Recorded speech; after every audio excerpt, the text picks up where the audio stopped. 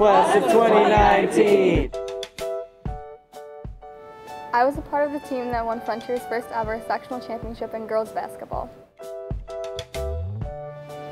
In my six years with the varsity bowling team, we have made it to states three times and won states once. I'm taking a lot of great memories with me from Frontier.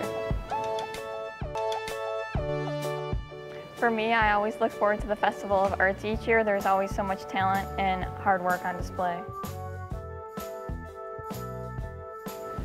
The art and music departments have helped me become the person that I am today. The music department and foreign language mentoring club helped me find my passion for teaching.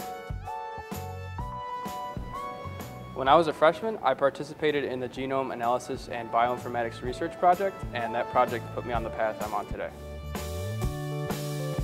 Frontier for me has been a phenomenal launchpad for the rest of my career, uh, going to med school and from there beyond. To me, Frontier is home. I grew up here and I've learned so much here. I'm thankful and ready to move on to my future. Class of 2019.